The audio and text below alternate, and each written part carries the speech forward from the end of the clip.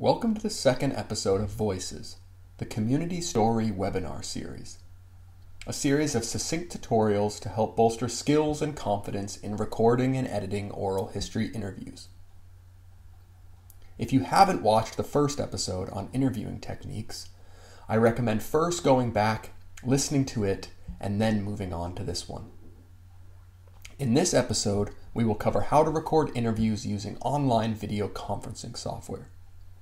As it's become ubiquitous across the COVID 19 pandemic, they offer a free version, and many people are familiar with it. This tutorial will focus on Zoom. But other platforms, such as Microsoft Teams or professional podcasting software such as Iris, may also be used.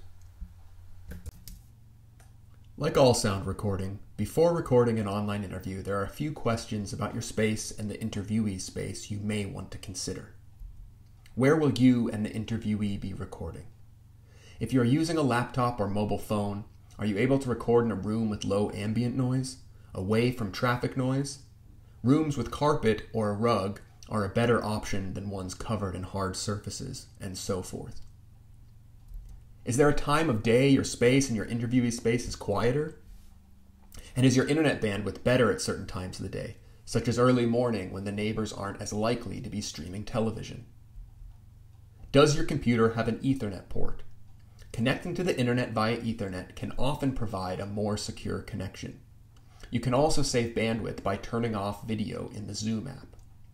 Think about the technical setup before the interview so when it's time to record, you can focus on the conversation. Do you have an external microphone? And does the person you're interviewing have an external microphone? An external microphone, either plugged directly into the computer's input or using an audio interface, will provide clearer sound quality and a recording with better fidelity. Even a headset and headphones with a built in microphone for phone calls is better than relying on a computer's microphone. External microphones are positioned closer to the sound source, the voices being recorded, and thus they cut down on the noise floor from the environment. And speaking of headphones, it's really important to wear headphones during the recording because that cuts down on feedback loops and an echoing effect.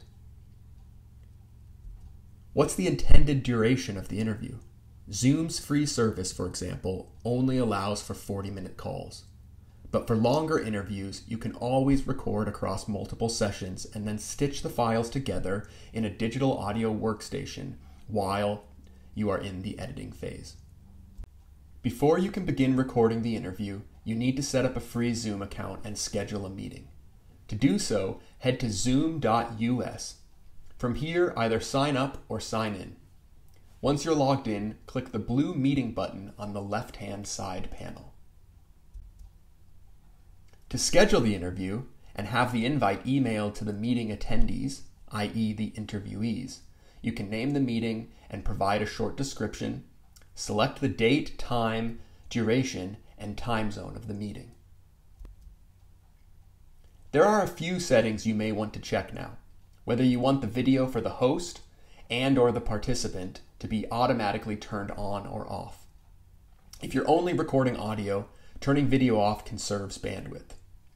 Each meeting participant can toggle their video on and off as they see fit during the actual recording, so this setting just sets it automatically before the meeting begins. And perhaps you want to check automatically record meeting on the local computer. This means the video and audio recordings will be saved onto your computer.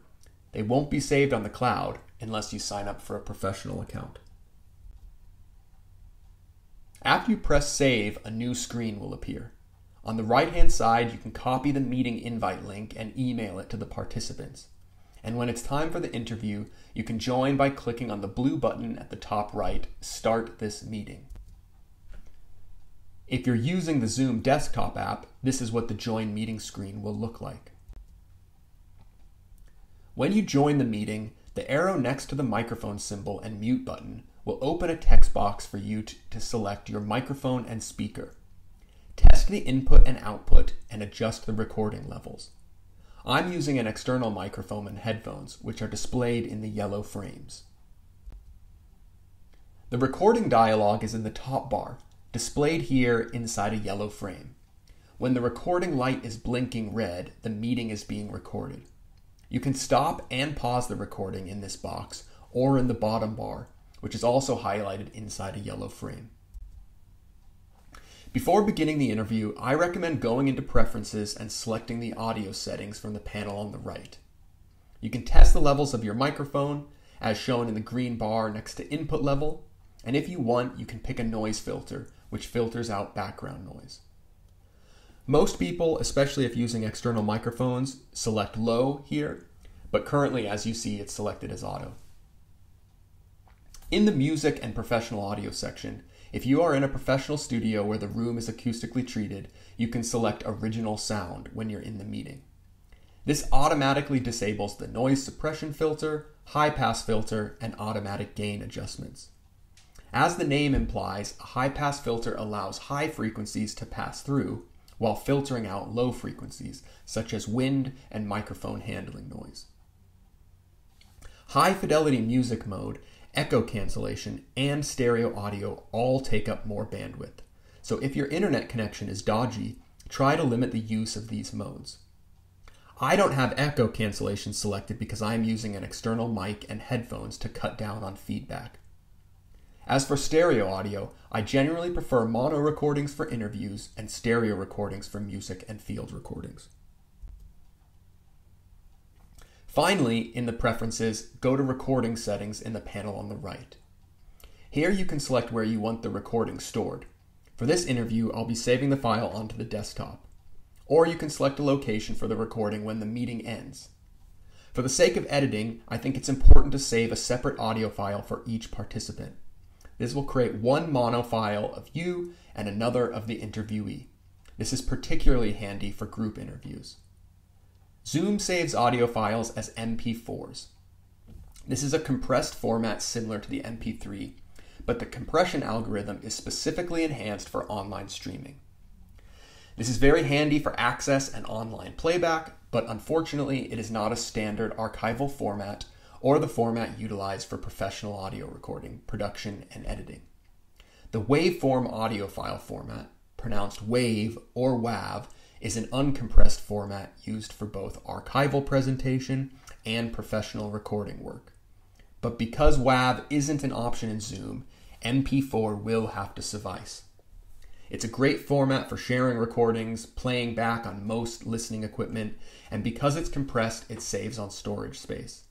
Needlessly, if you want to follow archival standards and record uncompressed, you may want to look at other platforms such as Iris. Thank you for listening to this tutorial. Here are a few resources that review and also continue what we have covered. The first link from the University of Wisconsin Milwaukee is a three page PDF on how to use Zoom to record interviews. The second link is a blog post from Zoom. And the final link is a YouTube video that I highly recommend. It's a tutorial on how to set up Zoom with external microphones with live audio samples of what each setting actually sounds like. In the next episode, episode 3, we'll cover how to record in person interviews. Thanks again for listening.